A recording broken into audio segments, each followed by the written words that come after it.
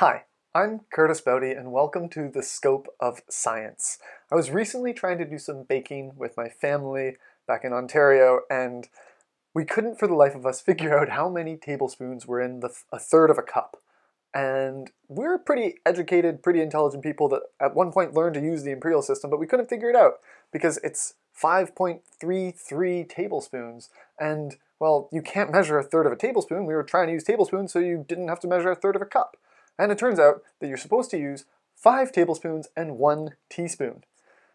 Which is a lot like saying if you wanted to know the volume of a watermelon, that's the same as 5 apples and an orange which makes no sense at all, but this is how the imperial system works. My height, for example, is 5 feet and 9 inches, which is kind of crazy. But this is the imperial system. For example, in measurement of length, 20 twips is 1 point, and 6 points is a line, 12 lines is an inch, and 12 inches is obviously a foot, and 3 feet make up 1 yard, and 1,760 yards make up a mile, which is absolutely different than a nautical mile or a Roman mile. And if your head is spinning, so is mine, and that's just a tiny sliver of distance measurement in imperial, why don't we use metric? Well, in metric, all you have to do to do a conversion is move the decimal place. So say you want to take a unit like a meter or a liter, and transfer that into a kilometer or a kiloliter. You have to move the decimal place one, two, three times. And that's all. You're done. Conversion made simple. And the crazy thing about imperial is that it is actually based on the metric system.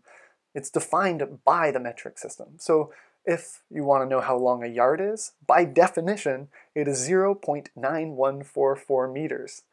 And it didn't always used to be this way, but this is now the case for the entire imperial system. Now compare that to what the metric system is based on. It's based on logical science. So for example, a meter in metric, it is defined by how far light can travel in 3.34 nanoseconds, roughly. Now, that's something that will never change because the speed of light is always constant. And in fact, all of the entire metric system is based this way. It's based on fundamental laws of the universe, whether it's for time or for distance. Now, that's something that won't change, unlike, say, I don't know, the length of a king's foot. It's a little more obvious. Now, what does this map show?